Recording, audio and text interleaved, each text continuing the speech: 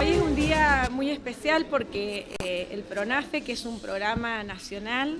eh, eh, hecho que nació en el 2016 como parte de las políticas de este gobierno, tiene como objetivo la profesionalización, el acompañamiento pedagógico de todos aquellos institutos de educación superior, de gestión estatal, en el caso de la Cruz Roja,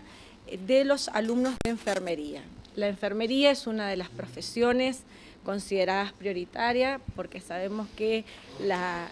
población en el mundo va envejeciendo y a su vez cada vez hay más necesidad de enfermeros que tienen una función social indispensable por su eh, empatía, por su sensibilidad y por el rol que ellos cumplen en el acompañamiento de las personas enfermas y demás.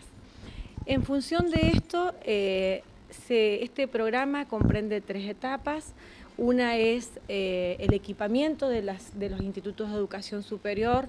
donde eh, ya se lo van a explicar luego la rectora, donde se hacen simuladores para que cuando el chico llegue a la práctica no se encuentre por primera vez con eh, la,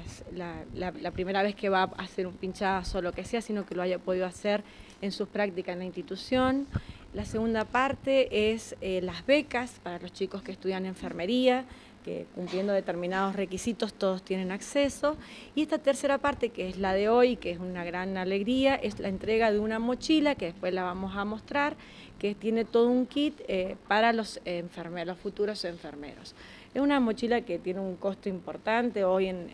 por lo que contiene adentro y cada alumno que este, hoy está en enfermería va a poder recibirla.